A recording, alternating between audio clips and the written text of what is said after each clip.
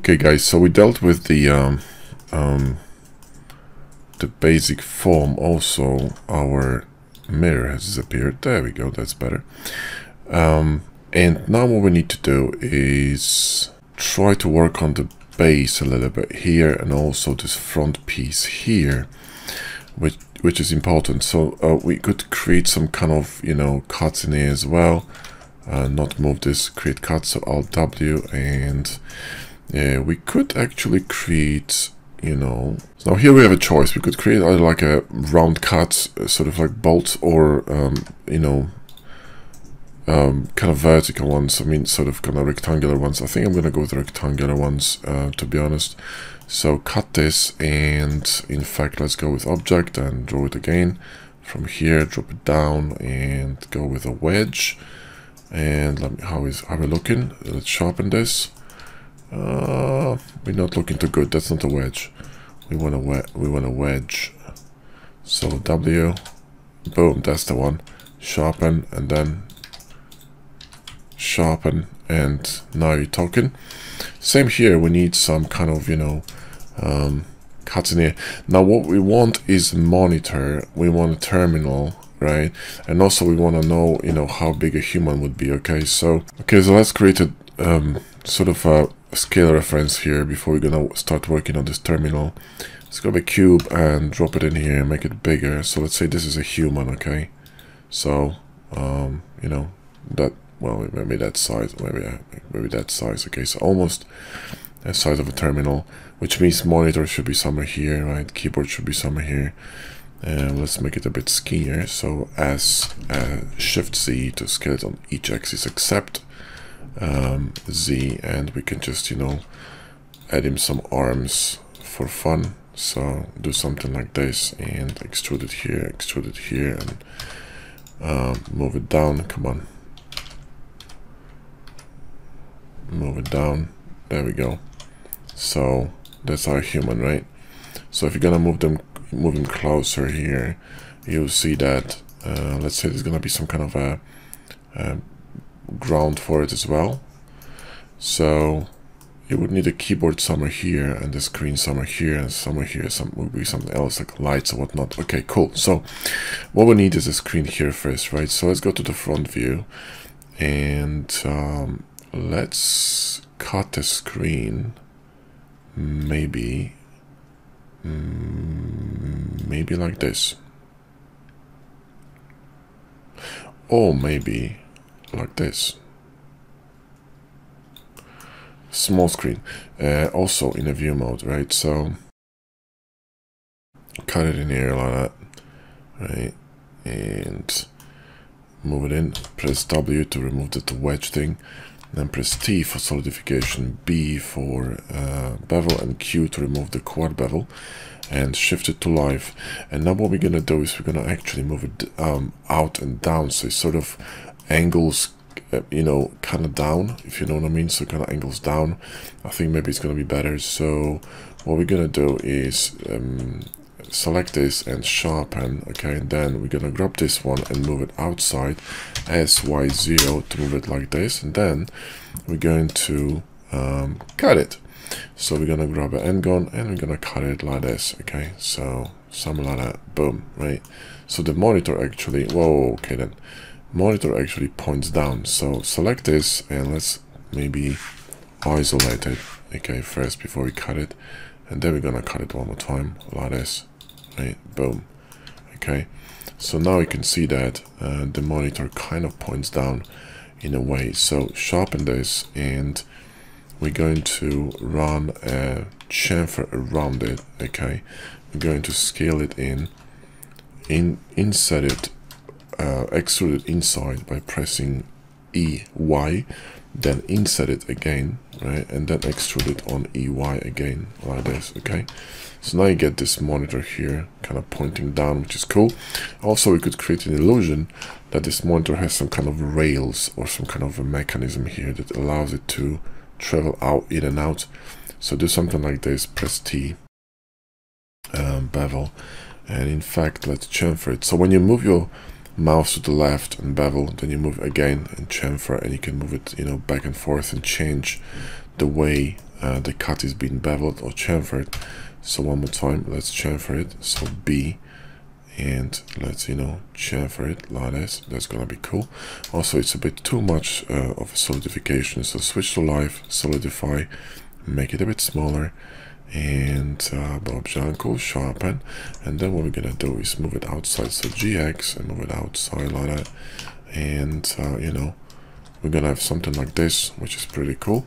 And here uh, well we could just move it inside a bit. Maybe it's too much. So move it inside a bit and scale it just a little bit on you know on a different axes and you got this kind of uh, this might be too much uh, just a little bit yeah and on z axis there you go that's better. This is gonna bake well. Okay this is gonna bake well. So that's that and we could have some kind of uh, you know cables coming out in here as well if you wanted to but to be honest let's not overcomplicate this thing. We need a chamfer here too. Um, so let's grab this. Also this is not I think this is not in the middle. So what we're gonna do is mirror this first. So let's mirror this uh, first like this and then did it work? No it didn't. Hang on hang on hang on. There we go. That was weird. Okay so now what we need to do is um, chamfer this one okay? So let's grab this shape here around and chamfer it like that. Boom. So we got the chamfer going on uh, which is awesome looking good and then we're gonna create this terminal here. So we need another cut okay for the terminal so let's cut it again. Uh, so we can actually grab this cutter so shift 2 and alt H and grab this this cutter right and shift D and Z and move it down. And you know difference right? So we got the same thing here in the bottom and then shift 2 and now we need to uh, bring our cube again I think. But you know more or less I think if we're gonna input a keyboard in here this should be fine right? So the head is here. The keyboard should be even lower I think. So let me just uh um let me just uh, click on this middle thing F scroll and GZ and move it a bit lower uh, somewhere here. I think that will do so that's that. And we're going to create like a kind of a keyboard in here or some kind of a you know um, space for typing whatever. So sharpen this and um, we're going to run the chamfer around it. Again uh, so mark all of it here around and chamfer this like this okay?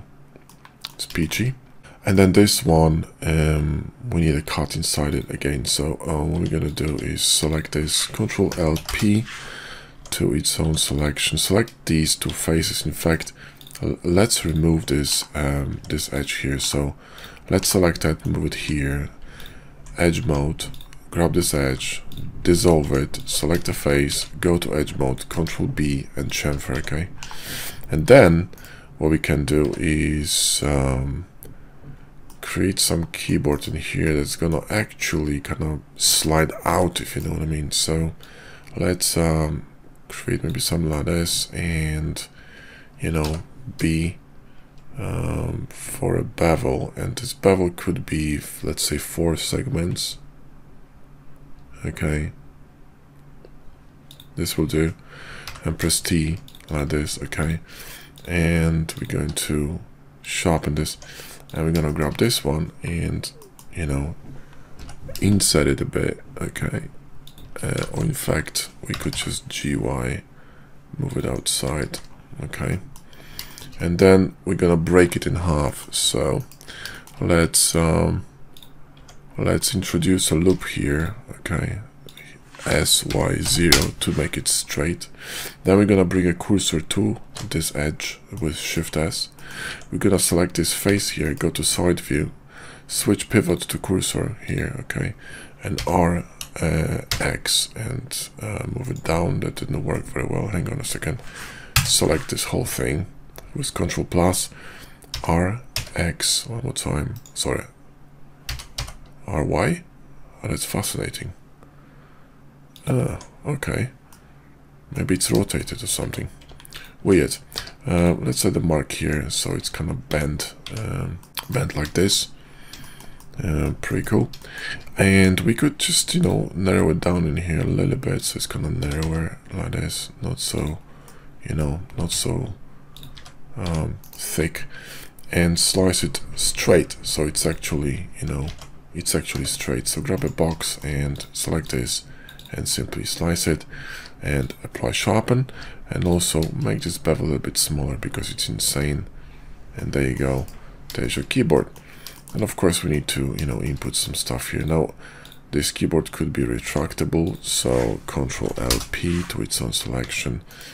And we're not gonna create some kind of you know I don't know um, some kind of cut in here as well just for fun. Or in fact we could do something like this you know um, just cut it through to you know um, introduce some cool shape. Why not? Let's do it. Yeah. And this is gonna be our low poly as well. So kind of like this. And um, we could have some you know keys in here. So grab this. Now what we're gonna do is gonna go to um, to mesh tools okay? And um, so you need to install this add-on. This is a blender native add-on so if you don't have it just simply go to preferences and click type edit mesh tools under add-ons preferably edit mesh tools and enable this save preferences you got to go. So select the face right click uh, mesh tools and click on fillet um, face inset fillet and you're gonna get something like this. And then we can adjust it um, hold shift to adjust the size um, number of verts let's make it maybe eight okay? And then um, you know distance you can just change the tension here. So let's make something like this and then simply extrude it allow that. Insert it one more time and extrude it up okay? And then we go into um, chamfer it and you're gonna get something like this which basically looks like a bloody keyboard. Let's chamfer these things as well. So let's go to the top view and let's draw a cut here. Press K for knife. Let's remove all this junk uh, because we don't need it. So that's that. And we're gonna grab uh, these edges here and we're going to chamfer them a little bit like that. Let's recalculate um, sharps because we got these sharps. We're gonna cause problems again. So control shift on sharpen sharpen this edge manually all around okay? So mark sharp right? And we don't need so many connecting edges here but we might need them later for star connect anyway for triangulation so just leave it like that. Um, so you know let's save it because a lot of work and then we're gonna create some keys here which we're basically gonna bake uh, into the mesh. So